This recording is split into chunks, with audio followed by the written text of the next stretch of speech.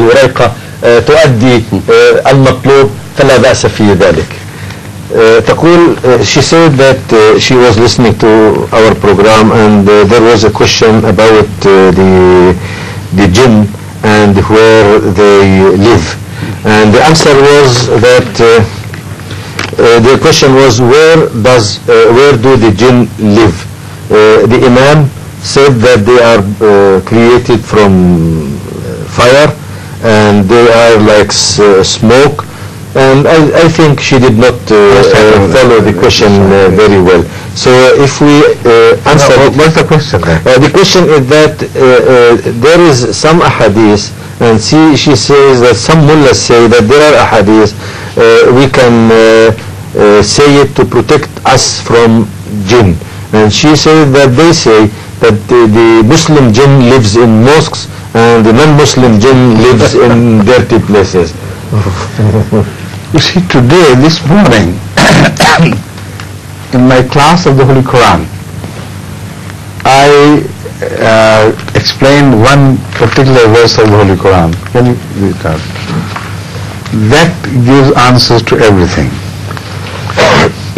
You see, the Holy Quran speaks of jinn and ins, largely referring to the big people and the small people the people who are in circulation, the people who are out of circulation, and big nations and small nations, bourgeois and proletariats.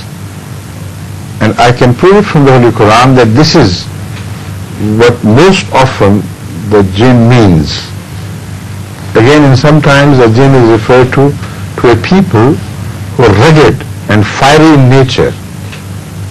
I never said that they are made of the fire as we know fire. What I said was that because mullahs insist that the jinns are the people like they dream them about, like they, they tell the people, then they should answer this question. That if you take the word literally, then the Holy Quran tells us that the jinns are made out of fire. So when they occupy somebody, someone, why is, is he not burnt out? so there is contradiction in what you say. When we interpret, you say, no, no, no, this is the word of the Holy Quran, you should not accept it in totality. All right, we ask you to do the same, what you preach us. Don't interpret, just believe in the words of the Quran exactly as they are written or spoken and believe that jinns are made out of fire. So any fiery thing which enters you must burn you. But it doesn't. According to the Holy Quran, it was the same jinns who were uh, who, who did you know were, were diving in the in the ocean for the sake of collecting uh, um, you know, pearls and, and other things, you know, other precious things pearls and other precious things from underneath the floor of the sea, from under the sea, from the floor of the sea. Now, if they were made out of fire as they believe, as they insist, we should also believe. Real sense of the fire. Then they should have been extinguished the moment they went. So they they interpret themselves. They believe against the real statement of the Holy Quran and it is all right for them. If somebody other interprets more sensibly than they can, then they become jealous. They don't like it. So the word jinn in the Holy Quran again refers to those who were chained in iron shackles. And uh, you know who were slaves kept under bondage by Hazrat Dawood, Hazrat Sulaiman,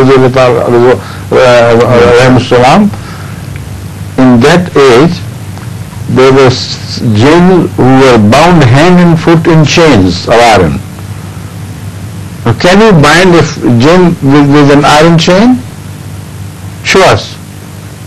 I challenge any mullah in the world to come forward and drag a jinn behind him, bound in an iron chain. That means the jinn were a fiery people. When I said fire, it means they, they have a fiery nature. But there's so much to it. This time is short. We'll turn to this question again. But let this part yes. be translated. Okay. okay. السؤال آه، يعني كانت كان الإجابة في وقت هذا السؤال كانت موضوع واضح وكامل ويشمل كل شيء ولكن الآن الموضوع يحتاج إلى توضيح هذه النقطة. يقول أمير المؤمنين أنني في درس القرآن اليوم كنت أفسر آه، هذه الآية التي تتحدث عن الجن وبينت أن كلمة الجن والإنس تعني أولئك الأقوام الكبيرة والأقوام الصغيرة. الأمم العظيمة العظيمة والأمم الصغيرة. البرجوازيين وأصحاب رؤوس الأموال والصناعيين الأقوياء والأمم البروليتاريا العمال وهذه. يعني صنفان من الناس أو الأمم أو الشعوب. وقال حضرته أن هؤلاء الذين يعتقدون أن الجن مخلوقون من نار بمعنى أن مادة تكوينهم هي النار. هؤلاء يفهمون فهما لا يمكن أن يستقيم مع العقل. أنتم تقولون إن هؤلاء الجن مصنوعون من النار. اذا فيهم هذه النارية. تقولون أنهم يلبسون الإنسان أو يستولون على الإنسان ويدخلون في جسمه فلماذا لا يحرقون الإنسان إذا كانوا هم من النار؟ هؤلاء الجن تحدث القرآن عنهم وقال أن منهم من كان غواصا. هذا الغواص كيف يكون من النار وينزل في الماء؟ ألا تطفئه؟ الماء.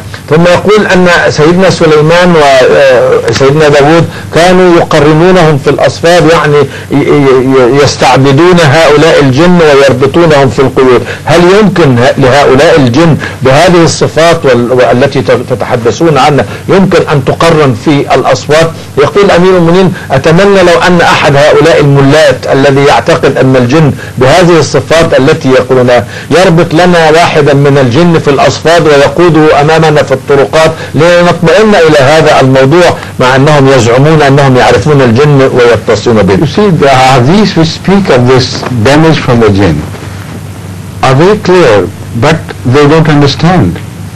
For instance, I quote one hadith which warns Muslims not to wash them if you don't have water.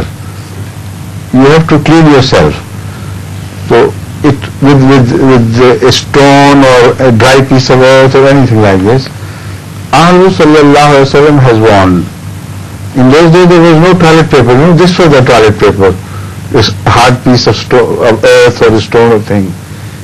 Don't do it with dead bones, bones of the dead people, because that is food for jinn. It may harm you. It's a very interesting, very wise, very profound declaration. Now we know that the bones are eaten up by bacteria. They're food for invisible things, bacteria. And in the explanation of jinn in found in Arabic Lughat, it is particularly mentioned anything which is not seeable with unaided eye, which cannot be seen without the help of other instruments, that is jinn. That is why in Jannat, are, are the gardens where it is it's almost dark underneath, you know.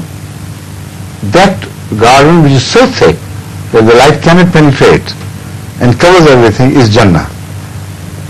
So there are so many things which I can quote, but time is short. It should remember that it, the lady should understand that when Rasulullah spoke of the protection against jinn, this is one of the examples. And now we know what he meant. He was a prophet far advanced in time than any prophet before him. He spoke of the time because his age is up to the end of the time. Of the things which were to be discovered later. So now we know bacteria are also jinn, among other things. And one should take care against bacteria. Everybody should know this. Please. آه، يبين امير المؤمنين ان القران نعم يقول